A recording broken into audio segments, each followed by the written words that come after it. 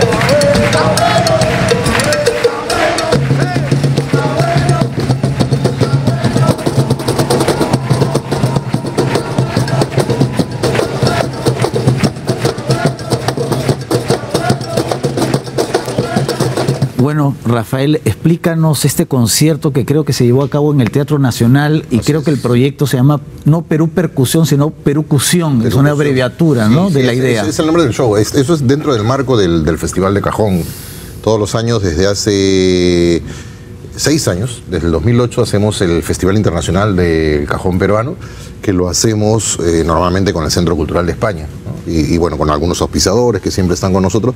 Y eh, la edición de este año la cerramos en el Gran Teatro Nacional con un concierto que eran 20 percusionistas, ¿no? que había de todo, desde vibráfonos, marimbas, a percusión ligera, sets de percusión con congas, con y lógicamente el anfitrión y eh, central es el cajón, ¿no? Claro. Y este es el, lo que hemos visto es parte del concierto. ¿Tienen eh, buena acogida? ¿Ha ido aumentando la acogida a lo largo de los años? Del público sí, el público sí, el público se ha ido, o sea, se ha convertido el cajón en una especie de, símbolo nacional, lógicamente con las, con las exageraciones, con las exageraciones que eso implica, ¿no? Algunas veces, ¿no?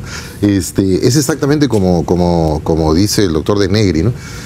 Eh, lamentablemente a veces los peruanos tenemos que esperar que, alguien más lo utilice o que alguien más se interese o se preocupe. Para reaccionar. Si no hubiese sucedido, creo esto, de, de Paco de Lucía, con, eh, con la promoción que eso tuvo, eh, tal vez no hubiéramos reaccionado, porque ya mucho tiempo antes grupos de Argentina y sobre todo de Chile, grupos como Inti Limani que están aquí en estos días y tal, ya, habían, ya venían utilizando el cajón desde finales de los 70. ¿no? Es recién el ochenta y tantos cuando sucede lo de, lo de Paco de Lucía y nosotros nos hemos dado cuenta siete años después. Claro. Y hemos reaccionado, no, nos están quitando el cajón con esas exageraciones además que tenemos a veces los peruanos. Claro. En realidad no nos estaban quitando nada, sino que lo estaban usando allá.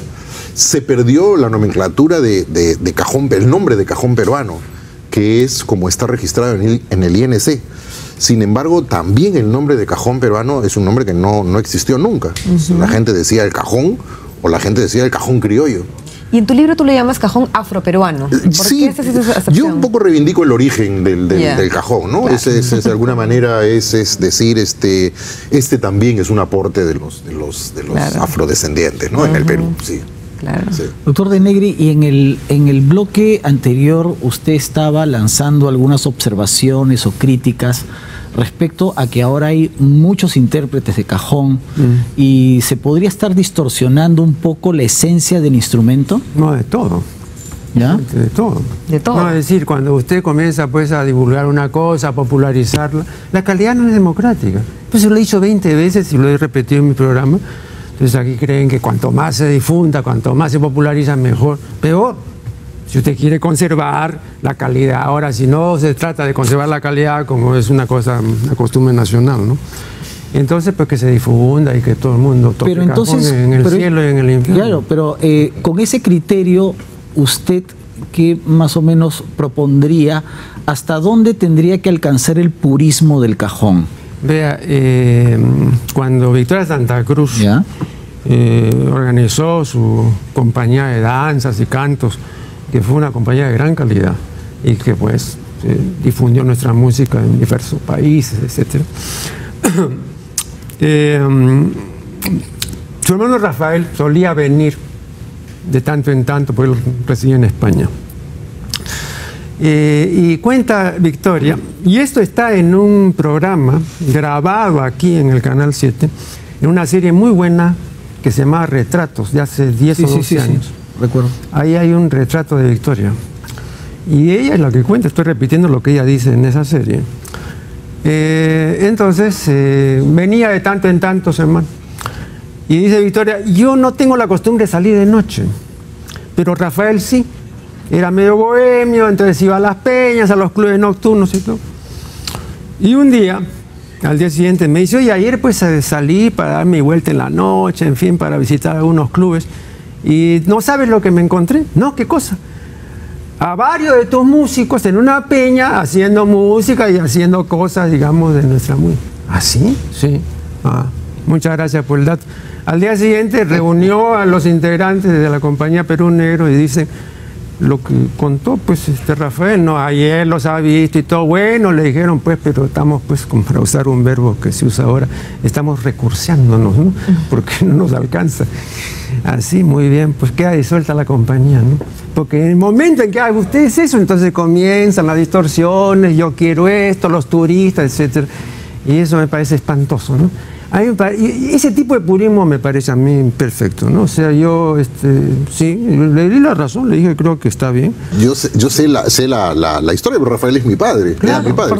Entonces él vino, eh, él había sido torero y lo, habían, lo invitaron para un aniversario de la Plaza de, de Toros. Y vino a un festival, a torear a un festival, y lo invitaron sus amigos en la noche a salir, lo llevaron al chalán. Entonces, en efecto, cuando se encuentra dos días después con Victoria, le dice, ah, eh, mi padre, muy despistado para muchas cosas, vio a la gente que bailaba con Victoria y que tocaban con Victoria, pero no vio a Victoria. Entonces pensó, bueno, como a Victoria no le gusta la noche, pues ella manda a su gente. Entonces le dijo, oye, vi, vi al grupo, este, Claro. vi a tu grupo ahí. ¿Qué grupo? No, tu grupo, pero bueno, tú no fuiste, no. No, ningún grupo. Entonces cuando averiguó, sacó a esa gente. Yo creo que al final les hizo un favor, porque toda esa gente, eh, esa gente era Teatro y Danzas Negros del Perú, así se llamaba el grupo.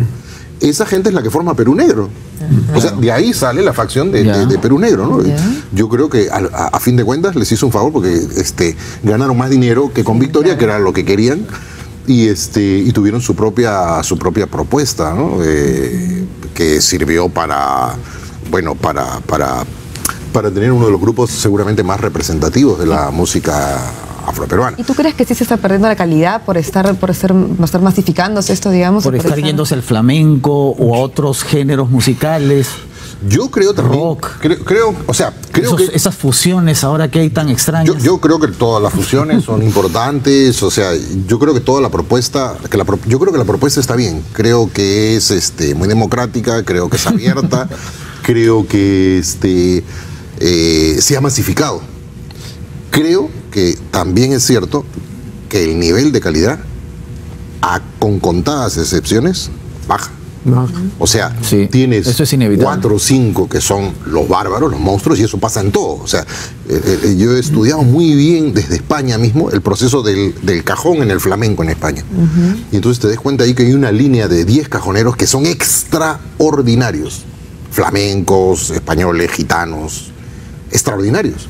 Tú te das cuenta que el resto de los que toca, y hay mucha gente que toca bastante bien, con bastante habilidad, están completamente vacíos. O sea, tocando súper rápido, seguramente con mucha técnica, pero carentes de feeling, de, de sentimiento, Claro. de, de- de- de esa sensibilidad de la que hablaba Marco Aurelio. ¿no? Entonces, claro, técnicamente funciona. O sea, técnicamente está todo. Tú dices, "Ay, está bien, está bien, está bien, está bien.